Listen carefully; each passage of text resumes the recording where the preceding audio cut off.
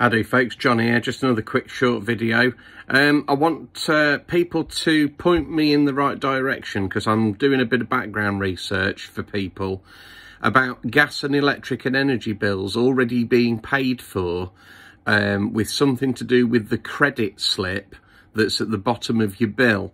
So when you get a bill, you fill in and tear off the credit slip docket and then you write a cheque and you put the two together and stick it in the post. And as far as I'm being led to uh, believe, um, it's a double dip for the energy companies because they credit the credit slip as one payment and then they take the cheque and they pay themselves with that as well. Now, it's a bit sketchy with mine. excuse me, it's a bit sketchy with my knowledge uh, on this because I've never looked into it before. But I've um, posted something on Facebook earlier on where I think, what, it, what did it say?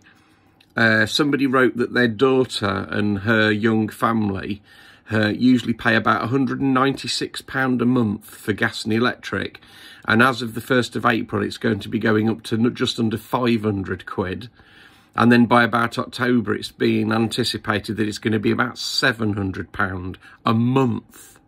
£700 a month for a young family that can just about afford to pay just under 200 quid.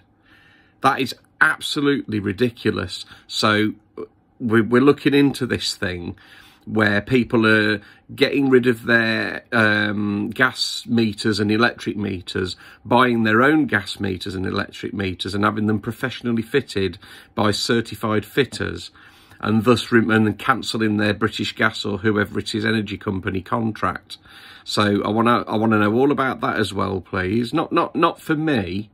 Well, not yet anyway, depending on whether they carry on stacking it up and up and up. Um, but I've got people that are asking about it. So the credit slip prepayment thing, double dipping, and the getting your own meters and fitting them and cancelling your contracts. Um, hit the uh, comments, please, folks. Thanks.